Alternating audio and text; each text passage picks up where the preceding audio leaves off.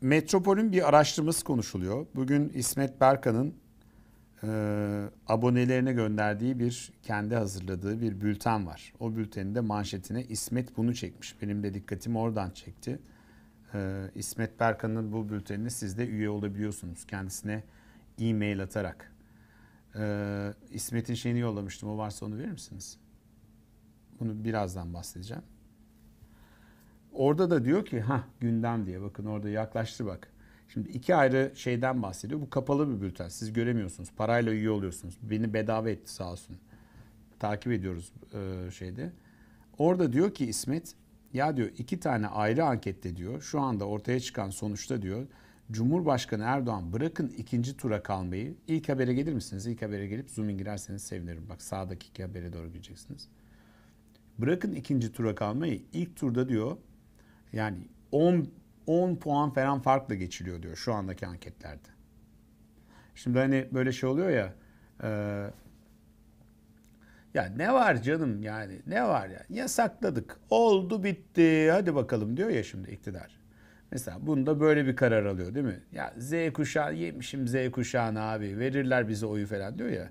Şimdi anketlere baktığınız zaman pek durum öyle gözükmüyor. Hani öyle 1-2 puan değil 10 puan 10 puanın üzerinde büyük farklar açılmaya başladı. Yani bütün bu süreçlerin bir sonucu olacak herhalde. Yani çünkü insanlar bir şeyleri yaşıyorlar. Bir ekonomik krizin içindeler. Bir savrulma var AK Parti'de. Daha çok şimdi AK Parti nasıl iktidara geldi? Refah Partisi'nden sonra milli görüş gömleğini çıkartmadı ama üzerine bir ceket daha girdi. Gelin liberaller dedi. Gelin dedi merkez sağa oy vermek isteyenler. Bakın size ekonomiyi düzelteceğiz. Gelin atlayın trene Avrupa Birliği'ne gidiyoruz. Atlayın arabaya. Liberal görüşte hep beraber daha farklı bir yere gidiyoruz dedi. İnsanlar da binişti, doluştu trene gittiler, geldiler, geldiler bugüne kadar. Şimdi ne oldu? Şimdi denilmeye başlandı ki ya bir dakika ya. Liberaller siz yere gidin bakayım. Liberaller gitti.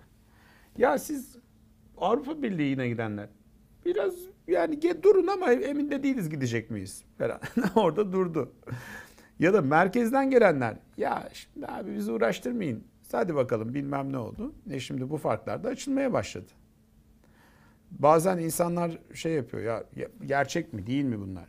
Bilmiyorum ben anketi ben yapmadım ama metropol dediğiniz yer gerçekten ee, önemli şeyler. Cumhurbaşkanlığı seçiminde Erdoğan'a kesinlikle oy vermeyeceğini söyleyenlerin oranı %46,5'a. Erdoğan'dan başkasına oy vermeyi düşünebilirim diye oranı ise %14,9'a yükselmiş.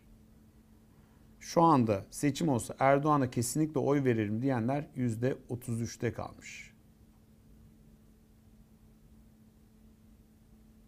Evet. Yarın bu monitörü buraya koyalım ki ben böyle dışarıya bakıyor olmayayım. Buraya bakıyor olayım. İlginç bir araştırma.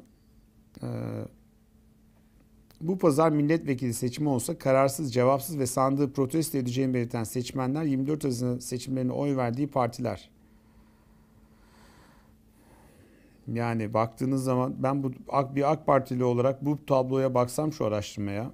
Ulan derim yani biz böyle kafamıza göre gidiyoruz. Daha 3 yıl var hani 2 yıl daha var seçimlere ama acaba o seçimlerde neler olacak diye bir kara kara düşünürdüm yani hani.